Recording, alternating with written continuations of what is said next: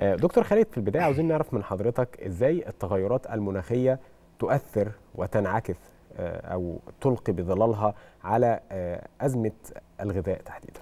خليني في البداية نحيي سيادتك لأن أنا استمعت للحديث في قبل في افتتاح الحلقة وهذا الوعي إحنا محتاجين إعلام واعي بالفعل لأن الرأي العام مهم جدا وتعبئة الرأي العام هو دور مهم جدا للإعلام. م. قضية التغير المناخي كما قلت سيادتك أنا متخصص كأستاذ علوم بيئة ليست قضية الساعة. التغير المناخي قضية أكثر من 120 إلى 150 سنة. صحيح. إحنا بنتكلم ما بعد الثورة الصناعية 1850 ل 1900. هذه التغيرات المناخية اللي فشل قادة العالم على فترات كبيرة جدا من الزمن للتو...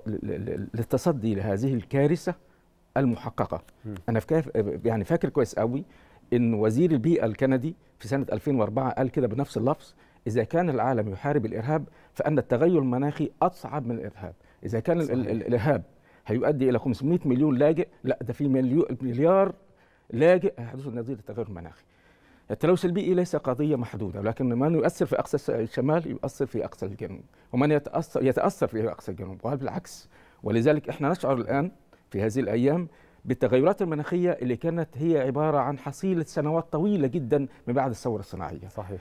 فإحنا النهارده الدول أنهي دول متأثرة وأنهي دول مؤثره؟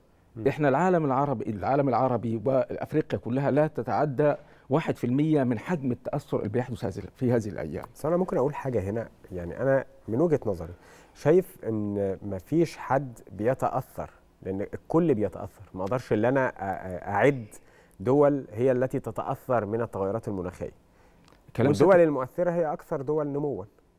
ما هو أنت بتتكلم سيادتك على اقتصاد الدول م. الدول اقتصادها ضعيف لا يمكن أن تتصدى للتغيرات المناخية صحيح إحنا لو لم تكن هناك خطوات استباقية في الأمن الغذائي المصري وأنا بتكلم وأتحدث بالتحديد عن المحاصيل الحقلية الاستراتيجية وفي مقدمتها القمح لو ما كانتش الدولة وعيت بقيادة سياسية في 2014 وهذه زيادة من مليون فدان ونص إلى 3 مليون ونص كيف كان حالنا اليوم؟ تتخيل مليون فدان ونص قمح بيدوني 3 مليون أردب. طيب إحنا احتياجاتنا تعدى 18 مليون أردب. إحنا لما هذه القفزة الكبيرة جدا ل 4 مليون فدان وصلنا لغاية 11 مليون أردب.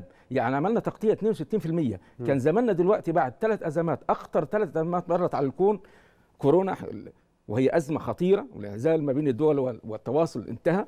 نمرة اثنين الحرب الأوكرانية الروسية اللي هي سلة الغلال. ثلاثة التغيرات المناخية اللي حدثت في السنوات الأخيرة. لولا مصر كانت لديها سياسة وقيادة سياسية واعية كان حلنا النهاردة إحنا عندنا مخزون استراتيجي ست أشهر من القمح. نفس النظام إحنا بنقوله في محاصيل أخرى ذات أهمية زي الذرة. لما نتكلم الذرة الصفراء إحنا لا نزال لا نزرع أكثر مليون فدان. حصيلتهم 3 مليون أردب. إحنا محتاجين 12 مليون أردب ذرة صفراء. وعشان كده استيراد الغلال الخاصة بتغذية ال ال ال الإنتاج الداجني هو ده اللي عمل الارتفاع الرهيب في أسعار البيض وأسعار اللحوم المختلفة. فإحنا عايزين فعلا إذا كان هناك اقتصاد قوي إذا كان هناك وعي من الشعب هيبقى هيتغير الوضع. لكن الدول الكبرى لديها إمكانيات كبيرة ممكن تتصدى بها للتغيرات المناخية وأثارها الخطيرة جدا.